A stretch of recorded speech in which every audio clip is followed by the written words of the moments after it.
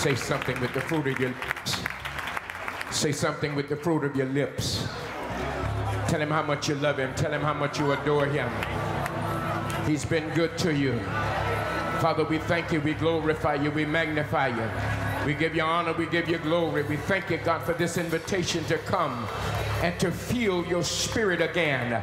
Fall fresh on us right now. In the name of Jesus, God, let us feel what they felt on Azusa Street many years ago.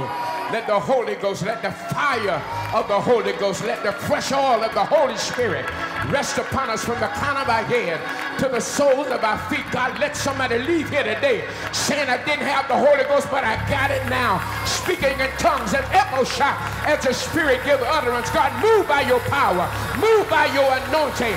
Drive Satan away from here. We feel your glory. We feel your presence. And God hands and we stomp our feet and we shout hallelujah in Jesus name have your way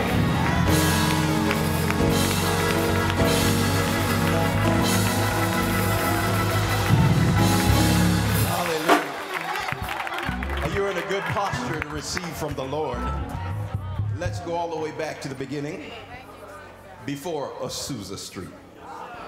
When the day of Pentecost had arrived, they were all together in one place.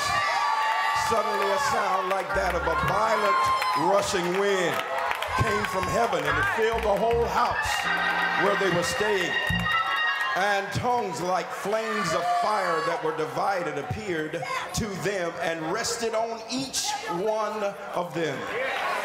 Then they were all filled with the Holy Spirit and began to speak in different languages as the Spirit gave them the ability to speak. There were Jews living in Jerusalem, devout men under every nation. When this sound occurred, a crowd came together and was confused because each one heard them speaking in his own language. And they were astounded and amazed, saying, Look, aren't all these who speak Galileans?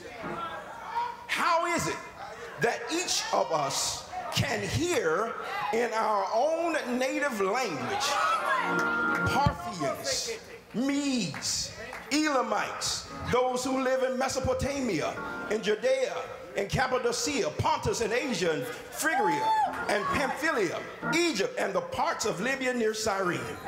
Visitors from Rome, both Jews and proselytes, Cretans and Arabs. We hear them speaking the magnificent acts of God in our own language. They were all astounded and perplexed, saying to one another, what could this be? I want to say that one more time. What could this be? Touch somebody and say, What could this be? Oh my God. I, they, will never give a pastor a mic after reading like this. But someone sneered and said, They're full of new wine. God bless you.